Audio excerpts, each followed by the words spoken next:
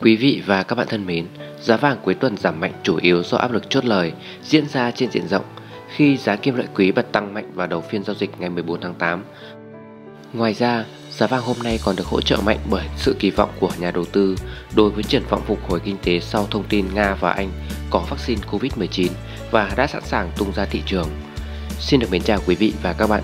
Chào mừng quý vị và các bạn đã đến bản tin cập nhật giá vàng buổi chiều ngày 15 tháng 8 năm 2020 được phát trên kênh giá cả thị trường của chúng tôi. Ở bản tin chiều nay, chúng tôi xin được gửi tới quý vị và các bạn một số thông tin về thị trường giá vàng và bảng giá vàng được cập nhật mới nhất vào lúc 15 giờ chiều nay. Sau đây là nội dung chi tiết.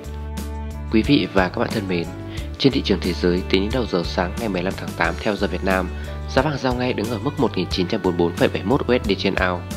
Trong khi đó, Giá vàng giao tháng 10 năm 2020 ghi nhận trên sàn COMEX thuộc New York ở mức 1.945,7 USD trên ao, giảm 16,6 USD trên ao trong phiên.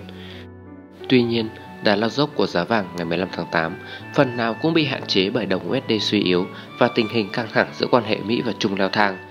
Ghi nhận cùng thời điểm theo giờ Việt Nam, chỉ số đo sức mạnh của đồng bạc xanh so với 6 loại tiền tệ chính đứng ở mức 93,088 điểm, giảm 0,25% trong phiên.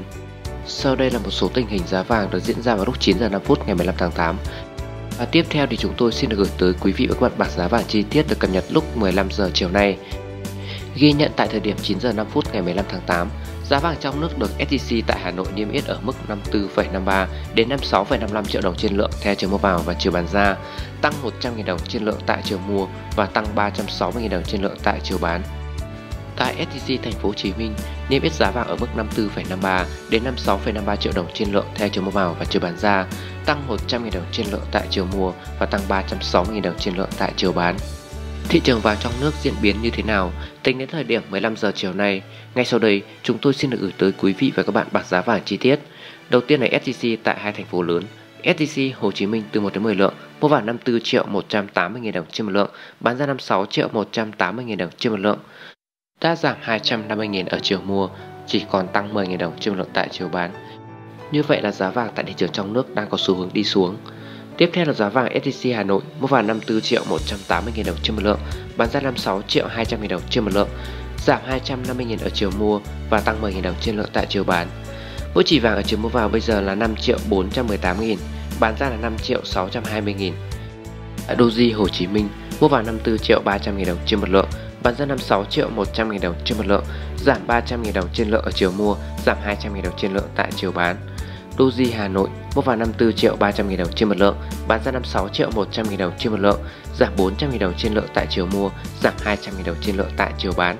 Tại PNG Hồ Chí Minh và PNG Hà Nội mua vào 54 triệu 300 000 đồng trên một lượng, bán ra 56 triệu 100 000 đồng trên một lượng, giảm 500 000 đồng trên lượng ở chiều mua và giảm 200 000 đồng trên lượng tại chiều bán. Tại Phú Quý STC mua vào 54 triệu 200 nghìn đồng trên một lượng, bán ra 56 triệu đồng trên một lượng, giảm 600 nghìn đồng trên lượng ở chiều mua, giảm 300 nghìn đồng trên lượng tại chiều bán. Tại vàng mi hồng, mua vào 54 triệu 400 nghìn đồng trên một lượng, bán ra 55 triệu 100 nghìn đồng trên một lượng, giảm 500 nghìn đồng trên lượng ở chiều mua, giảm 1 triệu đồng trên lượng tại chiều bán. Tại bảo tín Minh Châu, mua vào 54 triệu 300 nghìn đồng trên một lượng, bán ra 55 triệu 950 nghìn đồng trên một lượng, giảm 500 nghìn đồng trên lượng ở chiều mua, giảm 350 nghìn đồng trên lượng tại chiều bán.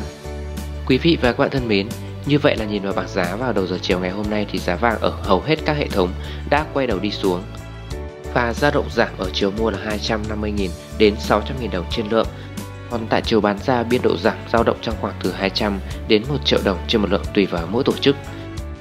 Đây là giá vàng STC tại các ngân hàng. Đầu tiên là ngân hàng Eximbank mua vào 54 triệu 500 000 đồng trên lượng, bán ra 55 triệu 700 000 đồng trên một lượng. Ngân hàng ACB mua vào 54 triệu đồng trên một lượng, bán ra 56 triệu đồng trên một lượng, giảm 1 triệu đồng trên lượng ở chiều mua và giảm 500 000 đồng trên lượng tại chiều bán. Ngân hàng Sacombank mua vào 54 triệu 300 000 đồng trên một lượng, bán ra 57 triệu 950 000 đồng trên một lượng. Ngân hàng SCB mua vào 54 triệu 500 000 đồng trên một lượng, bán ra 56 triệu đồng trên một lượng, giảm 500 000 đồng trên lượng ở chiều mua và giảm 800 000 đồng trên lượng tại chiều bán. Hai ngân hàng còn lại quý vị và các bạn vui lòng xem thêm ở bảng giá. Tiếp theo là giá vàng ở một số tỉnh thành phố. Vào đầu giờ chiều ngày hôm nay, giá vàng ở hầu hết các tỉnh thành phố giảm 250.000 ở chiều mua và tăng 10.000 đồng trên lượng tại chiều bán. Đầu tiên là STC Đà Nẵng, mua vào 54 triệu 180.000 đồng trên một lượng, bán ra 56 triệu 200.000 đồng trên một lượng. STC Nha Trang, mua vào 54 triệu 170.000 đồng trên một lượng, bán ra 56 triệu 200.000 đồng trên một lượng. SJC Cà Mau mua vào 54 triệu 180 000 đồng trên một lượng, bán ra 56 triệu 200 000 đồng trên một lượng. SJC Bình Phước mua vào 54 triệu 160 000 đồng trên một lượng, bán ra 56 triệu 200 000 đồng trên một lượng. SJC Huế mua vào 54 triệu 150 000 đồng trên một lượng, bán ra 56 triệu 210 000 đồng trên một lượng. STC Biên Hòa mua vào 54 triệu 180 000 đồng trên một lượng, bán ra 56 triệu 180 000 đồng trên một lượng. STC tại khu vực miền Tây mua vào 54 triệu 180 000 đồng trên một lượng, bán ra 56 triệu 180 000 đồng trên một lượng. STC Quảng Ngãi mua vào 54 triệu 180 000 đồng trên một lượng, bán ra 56 triệu 180 000 đồng trên một lượng. STC Quy Nhơn mua vào 54 triệu 160 000 đồng trên một lượng, bán ra 56 triệu 200 000 đồng trên một lượng.